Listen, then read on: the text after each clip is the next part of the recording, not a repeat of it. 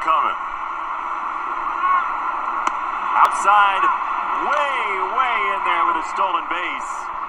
Baseball News Club presents You Make the Call, where we'll show you the video and then you make the split second decision. Going to need you to subscribe, follow, comment, and like the video now. This is a first base call, ground ball by Leody Taveras, the first baseman Yuli Gurriel, who throws it to pitcher Nivaldo Rodriguez. Was he out or safe? Let's look at it from a different angle. Was he out or safe? Umpire calls him safe. Let's look at it again. Is this enough evidence right here to overturn it? Was that too quick? Again, umpires have to look at it right on the spot. You can see right there, it looks like Rodriguez's foot just got there. Right there. Looks like he just got like half an inch to an inch in before the base runner. Let's look at it one more angle. Right there, you can clearly see space between the base runner's foot and the base. But let's see what blue calls. He gone. Overturned. At this bang bang play. Cal Quantrill on the mound, pitching to Bryan Reynolds. Hits it to Francisco Lindor, who absolutely makes a great stab. And he's called out. Base runner says, I'm safe. Francisco says, Nope, I got him. Let's look at it again. Amazing play by Francisco. Guns at the first. He's called out, but let's see. Is his toe touching? Looks like the ball's not in the first baseman's glove yet.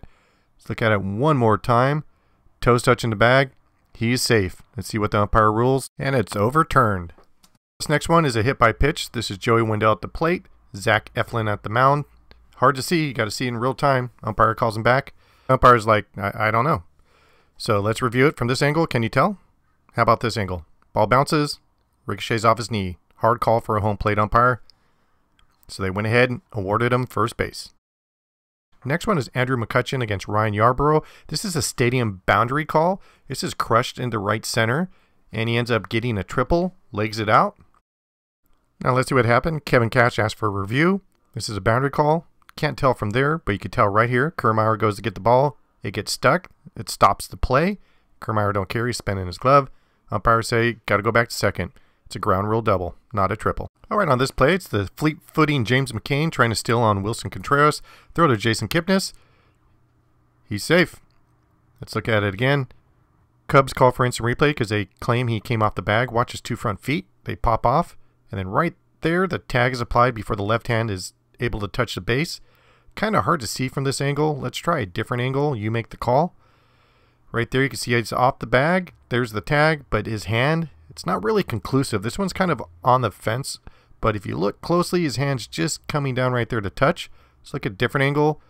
The tag is applied, and you can see his hand is not touching the base. That's just a really close call. It's overturned. He gone. As soon as the pitcher turns his neck, Whit Merrifield takes off and steals third base on Salvador Perez. But was he safe or out? Can you tell if the glove hit his front foot? Royals call for instant replay. It's a tough call. You can see his foot kind of sneak in right there, but you can't really tell if the glove is touching him yet. Right there looks like it's hitting the ground. Usually they need concrete proof to overturn calls. It kind of looks like the glove is missing him, but you can't really see from that angle either. Here it is again. Foot sneaks in, but Blue decided it was enough to overturn it, and he's safe. I don't know to me. I don't think there was enough evidence, but that's how they called it. Final review, it's a tag play. Ke'Bryan Hayes gets a base hit off Kyle Hendricks. Jason Heyward throws it to third to get Adam Frazier, and he is called safe. Cubs don't like that call, so they review it. This one's a tough one, too. This one is very hard to overturn because they're saying his right foot wasn't on the bag. But each angle you look at, you can't really see. The camera angle was a little too high on this. You could kind of see his foot off the bag, but you can't really tell. Here it is again from this angle. That's not a good angle either. Here's another angle, but again, camera is too high. Right here, you can see his right foot. Looks like it's off the bag, but even better, right here, you can see that gap, and then he's tagged right there. So very hard call to make. Here it is again. Looks like his toes away from it, and he's getting the tag. So the umpires decide, we got enough evidence, overturn it, he's out. Thanks for watching Baseball News Club.